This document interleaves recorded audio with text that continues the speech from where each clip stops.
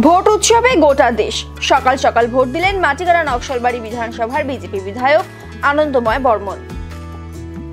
এদিন Patharghata junior basic স্কুলে পঁচিশের একশো উনষাট নম্বর বুথে ভোট দেন বিধায়ক আনন্দময় বর্মন। ভোটের লাইনে দাঁড়িয়ে ভোট দিতে দেখা যায় তাকে। এদিন ভোট দেওয়ার পর আনন্দময় বর্মন বলেন, দেখুন, গোটা ভারতবর্ষে যে ভোটের মরশুম চলছে এবং এই ভোট একটা উৎসবে পরিণত হয়েছে।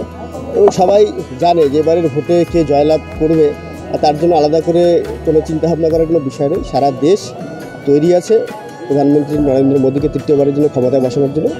আজকে আমরাও আমাদের এই বুথে ভোট প্রয়োগ হচ্ছে। আমাদের দুটো বুথ পাশাপাশি আছে, একশো আটান্ন এবং একশো উনষাট। সবাই এখানে স্বতঃস্ফূর্তভাবে ভোট দিতে এসছে এবং আমরা সবাই জানি এখানকার বেশিরভাগ ভোট সব বিজেপিতেই পড়ে এবং আগামী দিনে ভারতীয় জনতা পার্টির সরকার নিশ্চিত এবং আপকি বার চারশো বারের যে স্লোগান, সেটা সার্থক হবে। আমাদের এখান থেকেও পরপর তিনবার আমাদের দার্জিলিং থেকে ভারতীয় জনতা পার্টির এমপি বিজয়ী হয়েছে। এবারও চতুর্থবারের জন্য সে রেকর্ড অক্ষুণ্ণ।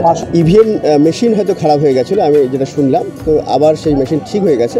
তো এটা টেকনিক্যাল ব্যাপার, এটা যারা এখানকার কর্তৃপক্ষ আছেন, তারাই বলতে পারবেন। তো আমি আশা করব যে, আর এরপরে যাতে কোনো মেশিন খারাপ না হয় এবং লোক যাতে শান্তিতে এবং খুব তাড়াতাড়ি ভোটটা দিতে পারে।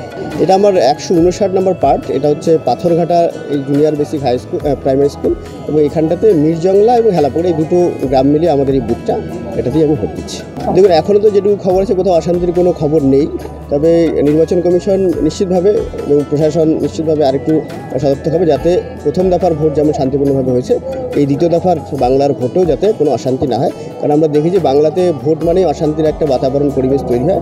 সেটা যাতে না হয়, নির্বাচন কমিশনকে এবং প্রশাসনকে সেটা দেখার জন্য অনুরোধ করব।